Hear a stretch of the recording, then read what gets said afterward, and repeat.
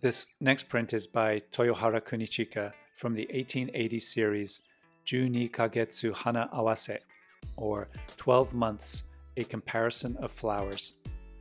And this is a very striking and beautiful series with a top angle featuring a flower and the bottom angle featuring an actor from a kabuki scene.